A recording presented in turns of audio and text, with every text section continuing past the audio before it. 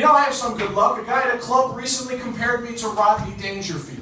He said, Why aren't you funny like Rodney Dangerfield?